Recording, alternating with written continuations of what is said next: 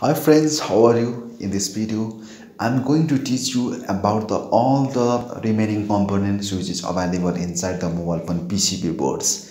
Before i have already uploaded many videos related with the mobile repairing training and you can check my playlist also. So i'm going to give you uh, the playlist uh, link in the video description. You can check that one and you can learn all the things which i have already uploaded in my previous video such as transistor resistors coiler inductor and different kind of things i have already mentioned in my previous videos.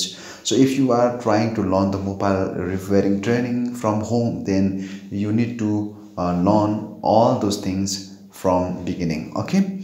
So in this video i'm going to teach you all the remaining components which is available inside the mobile phone pcb board hello everyone it's me Dipesh Rai. If you are watching this video first time don't forget to subscribe and don't forget to press in the bell icon. So without any late let's begin our tutorial.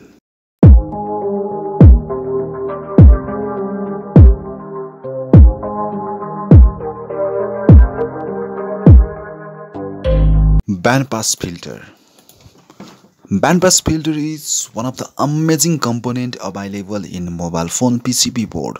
Bandpass filter pass frequency after filtering it filters frequency is for its capacity. A bandpass filter or bandpass filter is a device that passes frequency uh, within a certain range and rejects frequencies outside that range. The three most well-known ways to filter are low pass, high pass and the band pass. So guys now we can see here this is the images of the band pass filter. So uh, so now we are discussing about the on off switch. So on off switch is especially on off switch to uh, turn on phone and turn off uh, phone okay you can easily find out on off switch in mobile phone pcb board when we will press button off on off switch and the connection between ground pin and another pin will be start. After that your mobile phone will be on or off. So now we are uh, uh, uh, now you can see here uh, the images of the on off switch okay? So now we are discussing about the wi-fi oscillator. So wi-fi oscillator is one of the amazing things okay? So wi-fi oscillator also one of the useful component available in mobile phone pcb board wi-fi oscillator help us to generate frequency for wi-fi ic you can also easily find out wi-fi oscillator in mobile phone pcb board okay guys? So now again here this is the image of the wi-fi oscillator. So if you get any kind of problem to find out the uh, uh, wi-fi oscillator then let me know in the comment sections. So now we, we are discussing about the tools for mobile repairing. Okay so now you can see here. So now i am discussing.